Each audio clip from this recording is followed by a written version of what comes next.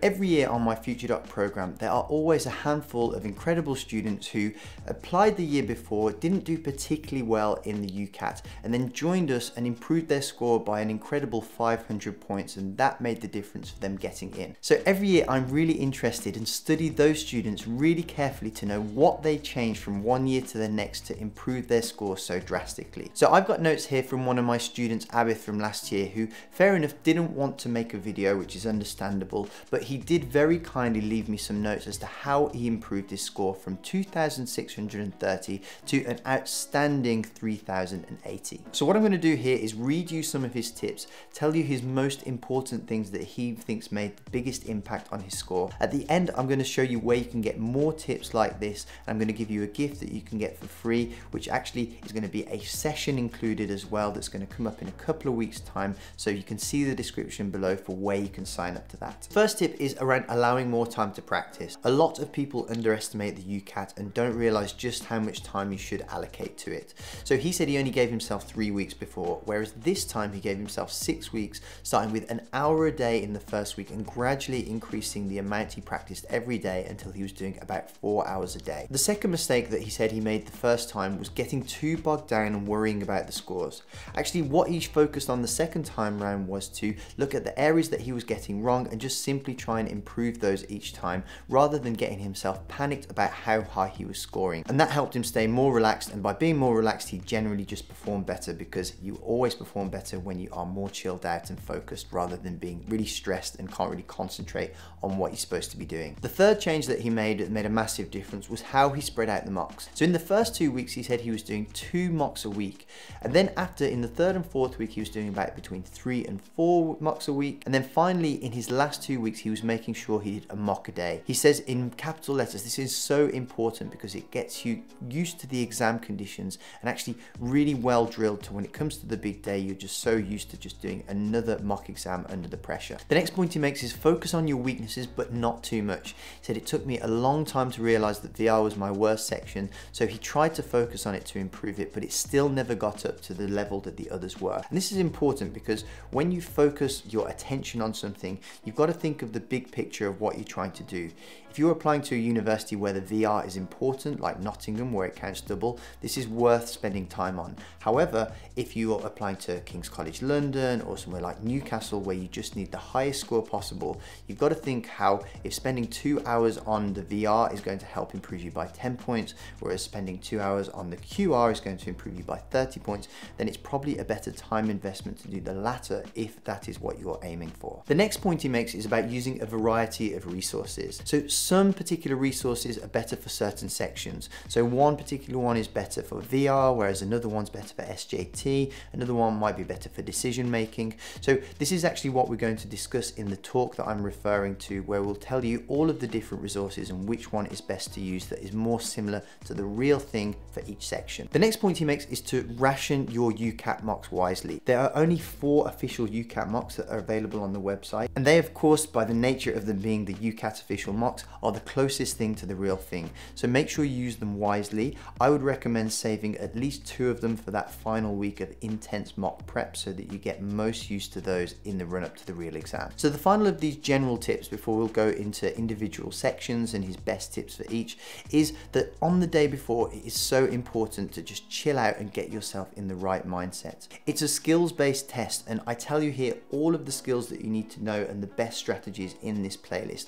But at the end of the day, you need to be able to perform under pressure. So the best way to be able to do that is to keep yourself relaxed. That's why he says the day before he did nothing but chill out, just get himself well rested and prepared to do the sprint that is the UCAT on the following day. So the next thing he goes on to talk about is the individual sections and two or three points for each that helped him improve his score. He starts with abstract reasoning. He says the most important thing is to have the strategy that you stick to. As you go on, the patterns become subconsciously a lot more easy to spot. Doing something like the Future Doc online course or the one-on-one -on -one training that he got through the program really helped him have a set way that he analyzes the pattern patterns to make sure that over time it's just inherent in his way to analyze them and he just is able to do it subconsciously without thinking. He says that AR is one of those that it's the hardest to start with, but you see the most progress, which is what I always talk about in my course.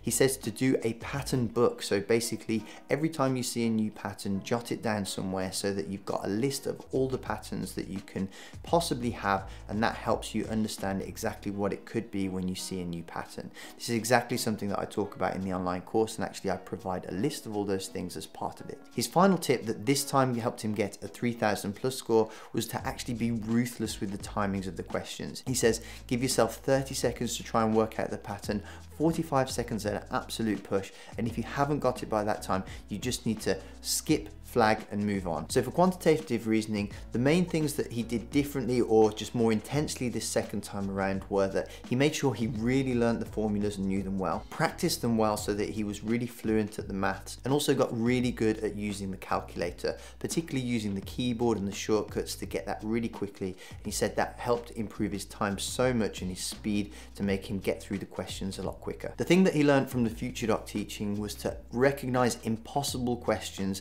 and know when to move on from them and be ruthless with that. That's really important because what you've got to understand is that not every question is workoutable in the time that's allocated. They are designed as traps to help bog you down so that you don't get through the questions. And it's important to be able to recognize those quickly so that you know that you can flag them, skip them, move on, make sure you just at least complete the section and then come back to those questions at the end. The biggest thing is that people don't finish the questions. Getting 80% right but getting through 100% of the questions is a lot better than getting 90% but only getting through 80% of the questions. So that's a lower score overall. It's really important to get your head around that fact just to instill how ruthless you need to be at the skill of going through the UCAT test. When it comes to decision making, he really only has one tip, which is to learn the six common question types that come up in decision making and to just know them well. Actually, in this playlist here I discuss all the possible six type of decision making questions that come up and then it's just a shortened version of my online course for exactly how to tackle them quickly so maybe check out that playlist if you want to know all the possible question types and the best strategies for them but he essentially says that they cycle through in a very continuous order there's usually a repeated order that he's noticed as a pattern throughout the decision making section and they always follow that cycle of the question orders so just be aware of that and you can know what's coming and you can anticipate the questions that are coming up next after that. For verbal reasoning, he actually managed to improve his score quite a lot. He took it from 560 to 650, which is actually really good because the average for verbal reasoning is really low. So here he says, just be ruthless with the targeted read. So again, if you want to check out this playlist, we talk about how to do the scanning technique here, which is really fast and the most accurate. He also says, be ruthless with your time again. This is the one where people run out of time most. And actually it's the hardest one because you want to just read a little bit more to make sure that you're right. But it's the one where people fail the most on because they're just so slow when getting through to the end of all the questions. The only thing that he changed second time around in the VR was if the passage was small or medium, he said he would actually just skim it first just to get the gist of what's going on rather than do the targeted read. So if it's a small one, just make a decision. If it's large, then I would just maybe not worry about it so much. But if it is small and manageable, just quickly skim it so that you know that you can get a better gist of what's going on rather than doing the targeted read in that particular circumstance. And finally, we have the situational judgment where he got a band one. I'm just going to read word for word what he said here.